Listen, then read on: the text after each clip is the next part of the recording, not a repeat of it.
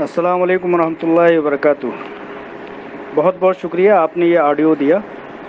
इसी तरह की दो तीन ऑडियो मैंने इससे कबल भी सुना है जिसमें कि विजिल ब्लोवर साहब बोल रहे हैं, और हीरा ग्रुप ऑफ़ कंपनीज़ मुस्लिम की मीशत को संभालने वाली और हीरा ग्रुप ऑफ़ कंपनीज़ के सीईओ मोहतरमा आलामा डॉक्टर नोहरा शेख साहिबा को वो दहशत गर्दी से जोड़ने की भरपूर कोशिश कर रहा है। जो कि काबिल मजम्मत है, एक मुसलमान को दहशत गर्दी के इल्ज़ाम की तरफ़ बढ़ाना और उस पर यह ऐसे इल्ज़ाम लगाना। एक काफिर मुशरक और मुलहद, नेज़ किसी यहूदी ताकत का ही काम हो सकता है, लिहाजा एम आई एम वाले यहूदियों के रास्ते पर चल निकले हैं और मुसलमानों की मीशत को बर्बाद करने के लिए पूरी कोशिश कर रहे हैं। ठीक है, दूसरी तरफ़, यूनो नाम का एक बेकार फ़र्द है, जो कि सी C S E O W और तमाम तरह की प्रॉपर्टीज़ के अटैचमेंट की बारहा बात करता रहता है। तो मैं इस बेवकूफ़ से ये कहना चाहता हूँ कि बेवकूफ़, बेवकूफ़ुल हिंद, यानी हिंदुस्तान का सबसे बड़ा चूतिया तो क्या ये समझता है कि हिंदुस्तान की तमाम एजेंसियाँ तेरे अटैचमेंट से चल रही हैं, तेरे इशारे पर चलेंगी और तू अटैचमेंट कराएगा तो वो करेंगी? तो तू सबसे बड़ा बेवकूफ़ है, बेवकूफ़ुल हिंद यानी हिंदुस्तान का सबसे बड़ा बेवकूफ़ है। और तू ये समझता है कि तू अब डायरेक्शन देगा हुकूमत हिंद की तमाम एजेंसियों को। अगर हुकूमत हिंद की एजेंसियाँ तेरे इशारे पर चलने लगे तो इसका मतलब है कि फिर ऐसी एजेंसियों को ख़त्म कर देना ही बेहतर होगा। और सीआईडी का जैसे कि तुम लोग बात करते हो, बेवकूफ़ुल हिंद कहीं के कि तुम लोगों के कहने से सीआईडी हुकूमत को दी जाएगी तो एस को फिर क्यों बनाया गया था? ये भी थोड़ा सा हुकूमत हिंद को बता देना। दो बातें हो गई। और तीसरी बात, ताहरा आपा बहुत ज़्यादा परेशान होते हुए कभी ईओडब्ल्यू के और कभी इधर उधर के चक्कर लगाती रहती हैं। अभी उनकी कल एक ऑडियो आई थी और वो ये कह रही हैं कि ईओडब्ल्यू के बड़े ऑफिसर्स ने मुझसे कहा कि तुम्हारी सीईओ जो हैं और मोहतरमा डॉक्टर नोहरा शेख साहबा के ऊपर ये इल्ज़ाम ये इल्ज़ाम ये इल्ज़ाम। तो तहरा आपा से कोई भाई साहब ये पूछना, अगर उन तक ये बात मेरी पहुँच जाए तो मैं ये पूछना चाहता हूँ उनसे कि मोहतरमा, आपा तहरा आप सबसे पहले बात ये बताइए कि वो जिन ऑफिसरान से आप मिलती हैं, उनसे जब उन लोगों ने आपा के ऊपर, आपा डॉक्टर नोहरा शेख के ऊपर ये इल्ज़ाम लगाए तो ये इल्ज़ाम क्या आपको बताने के लिए ही, और कलीम चाचा को और तमाम तरह के ये कलीम शेख को बताने ही के लिए वो उन लोगों के पास ये इल्ज़ाम है? इल्ज़ाम कोर्ट में पेश करने के लिए है ना? तो उन ऑफिसरान के पास ये समझ लीजिए कि चार्जशीट दाखिल करने के लिए कोई मैटर नहीं है। तो वो आप लोगों को भड़काते क्यों हैं? देखिए, ये ऑफिसरान का भी और जो भी महकमे हैं, कहीं ना कहीं सियासी पॉलिटिकल लोगों के साथ मिल करके एक ब्लैकमेलिंग का बहुत बड़ा धंधा चला है।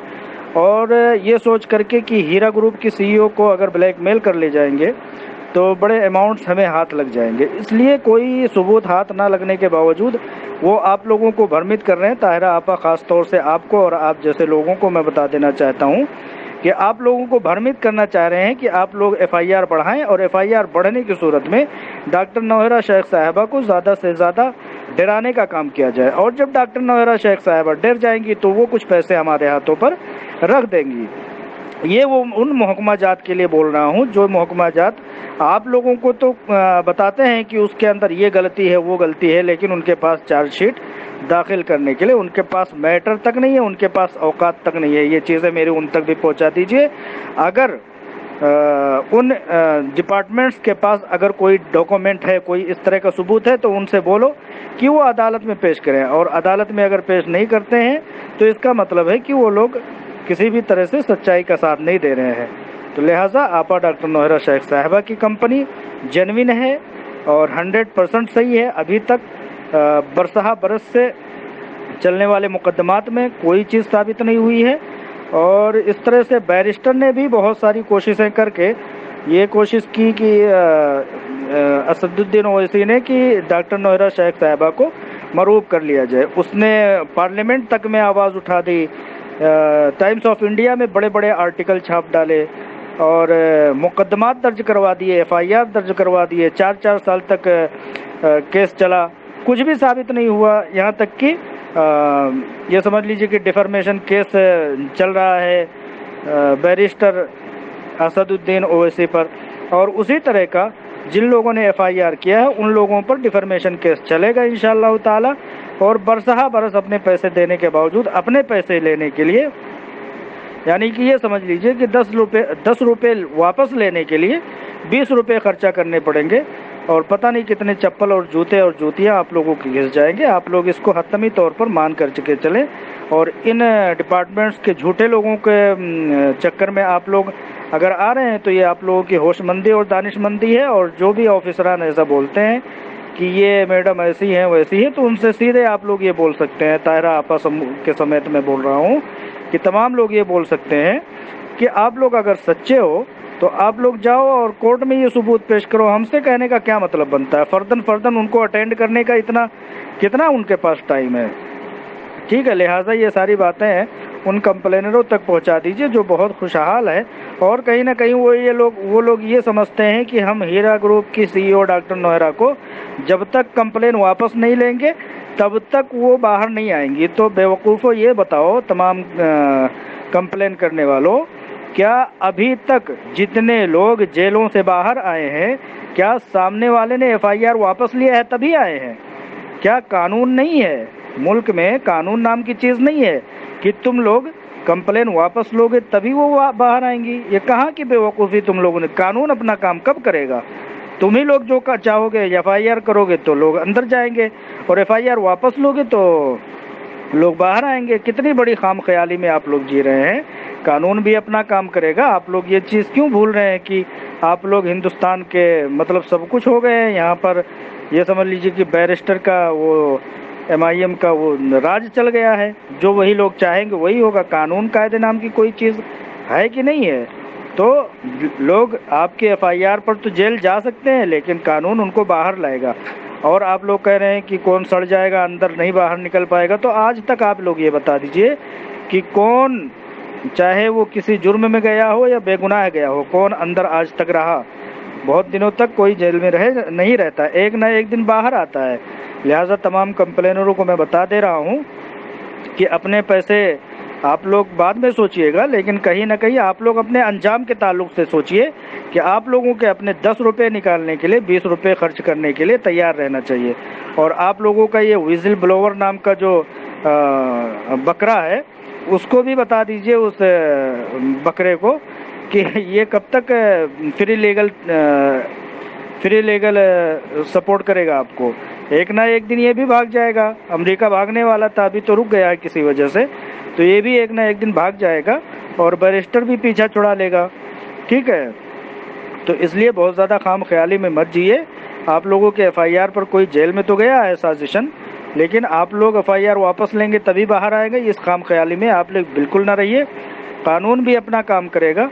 और सबसे बड़ी बात बता दूँ तो मिल्क में आज तक जितने भी एफआईआर हुए हैं हर आदमी बाहर आया है। ऐसा नहीं है कि सामने वाले ने एफआईआर वापस लिया है तभी वो, बाहर आया है। मुकदमात चलने के साथ ही वो बाहर आया है और मुकदमात चलते ही रहते हैं चलते ही रहते हैं।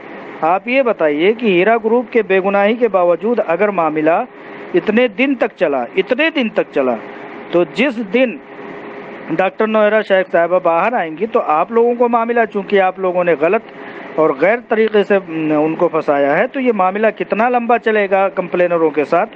रहेगी बात, जो लोग सब्र किए हुए बैठे हुए हैं इन ताला, आपा ने तो बहुत पहले ही कह दिया है कि मैं ऐसी हैसियत रखती हूँ, इतना वैल्यू है मेरे पास कि किसी भी प्रॉपर्टी को हाथ लगाए बगैर मैं सब लोगों के पैसे देने के लायक हूँ। उन लोगों को जो एफआईआर नहीं किए हुए हैं, लेकिन जिन लोगों ने मेरी कंपनी को बर्बाद किया, मुझे सजाएँ दिलाई मुझे डैमेज करने की कोशिश की। वो लोग ये समझ लें कि इतनी आसानी से ये जंग ख़त्म होने वाली नहीं है। कंप्लेनरों के लिए बात बता रहा हूँ।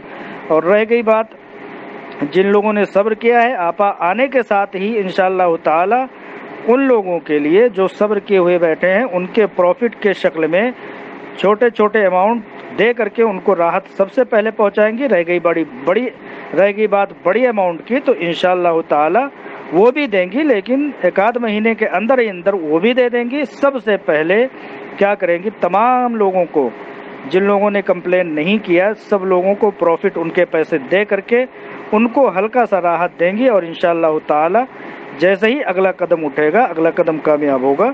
लोगों के, उनके पैसे, जिनको अपने अमाउंट चाहिए, उनको उनके अमाउंट्स देना शुरू कर देंगे। और आप कह रही हैं कि इंशाल्लाह किसी भी प्रॉफिट को किसी भी प्रॉपर्टी को हाथ लगाने की ज़रूरत नहीं पड़ेगी। मैं सब के पैसे ऐसे ही लौटा दूँगी, चुटकियों में पलक झपकते ही। और मैं भी इस चीज़ का शाहिद हूँ कि आप इस लायक हैं और उनकी लीगल टीम ने भी सारा मुताला करके देख लिया है कि आप इस लायक हैं कि विद इन थ्री मंथ्स तमाम लोगों के पैसे क्लियर कर देंगे। लिहाजा तमाम लोगों के बौखलाहट के बौखलाहने में और भड़काने में ना आए और ताहरा आपा खाम ख्याली में ना जिए। इन ताला आप लोग आने के दिनों के साथ साथ सारी चीज़ें वाज तौर पर देख लेंगी। तमाम लोगों को अस्सलाम वालेकुम